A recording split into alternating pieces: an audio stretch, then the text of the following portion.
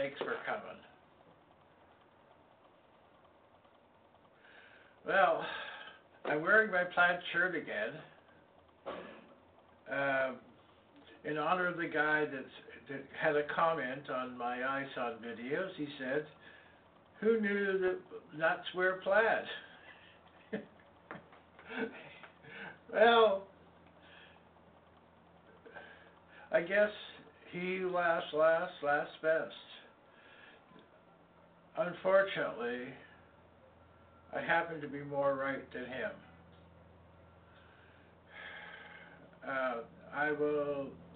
I've got to put. I'm going to add the link to my description to where they have the video of Ison debris field and a comment about the tweet from NASA saying they're watching it. So this is the first acknowledgement of the debris field by NASA to the public.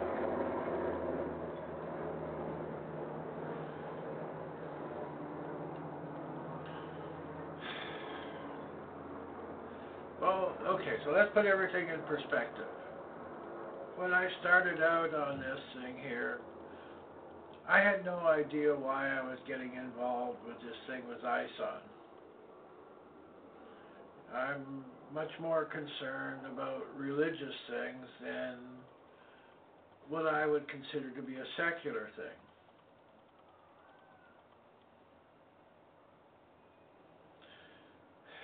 And there's a reason why God has manifested this now. And sometime maybe I'll talk about that. But I want to talk about uh, what to do about ISON. Uh, in the video, they're talking about the debris field coming from the middle of January to the end. Well, I'm not so certain. If you go look at SolarHam data, the majority of the of the of the light being blocked uh, is getting is getting less.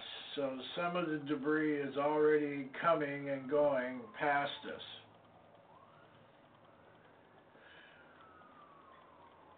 I think that we will have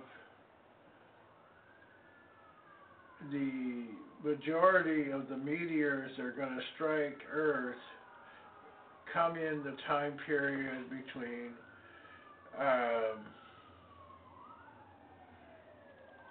January the 10th and January the 16th. That's what the Solar, SolarHam data seems to be showing. Okay, so we've seen some meteors, the meteor activity is picking up. Uh, I think we will have a huge burst of meteor activity from the 10th to the 16th. I think there will be some large meteors like what's happened up in Iowa, in Alberta, in Russia, will continue. If one of those hits a city, it's going to be pretty devastating.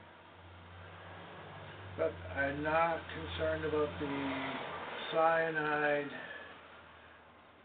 cloud that I was originally because even though there's going to be cyanide, it's going to it doesn't persist in the environment long enough to build up. So Mike Slack's calculation worked out.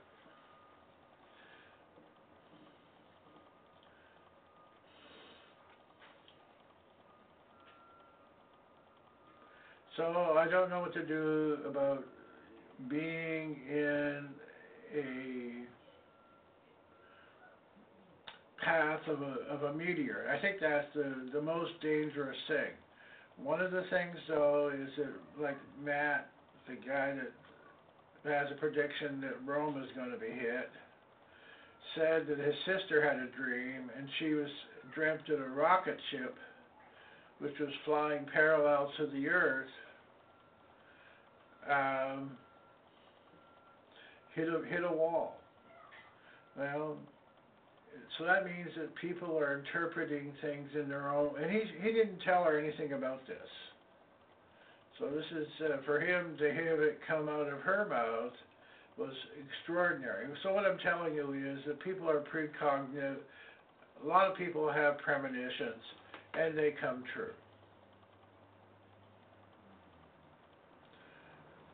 And uh, so one of the things I'm thinking of doing is finishing my book on the I Ching, which tells you how to enhance and magnify that ability.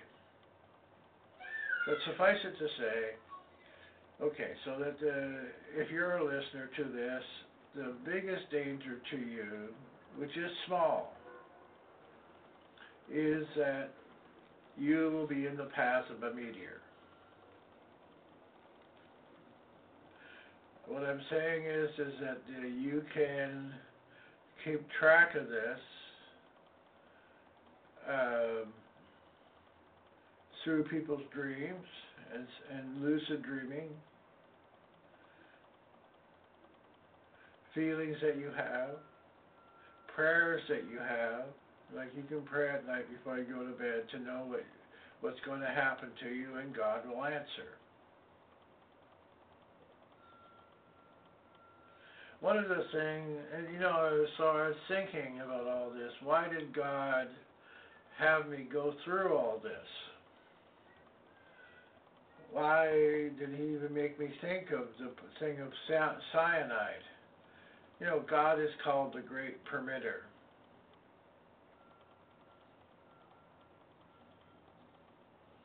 And I think one of the reasons is is that the uh,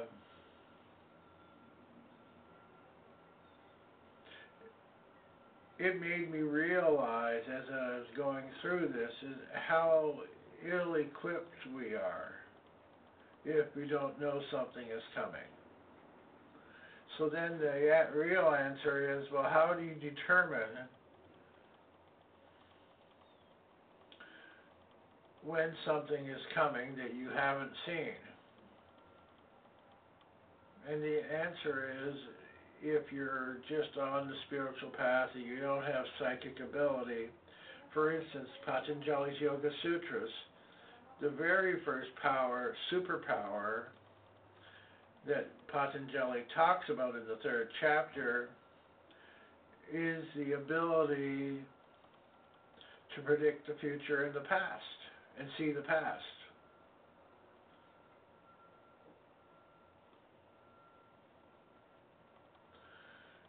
And we're going into a time period when the need to know things is becoming, in advance, is becoming more and more prominent.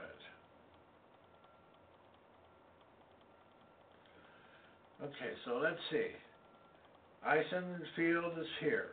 Okay, we have pictures of it now. We have NASA saying that it's coming. They're aware of it.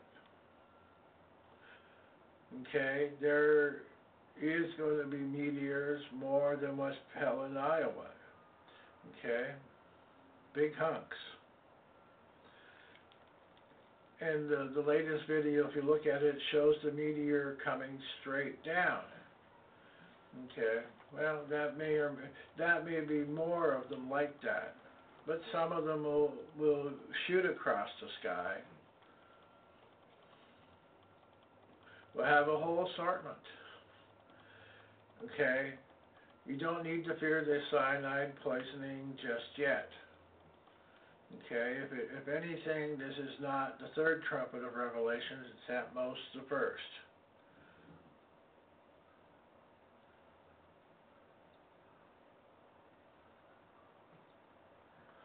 There, there, there are, there are warnings that are given.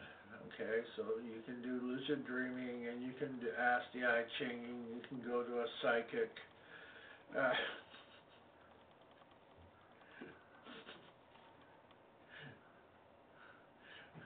I once drove by, uh, you know, they have these psychics by the road. I once drove by a psychic the house was burned down, and what went through my mind is, well, did they know it was coming? Anyway, inside joke.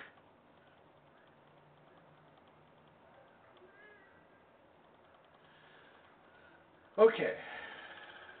Um,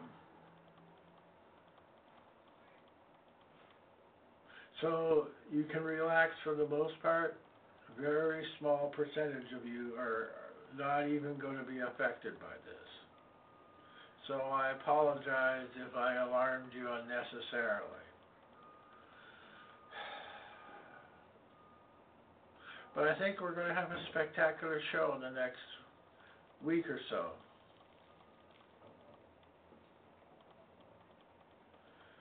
Who knows what God has in store for us after that? Thank you.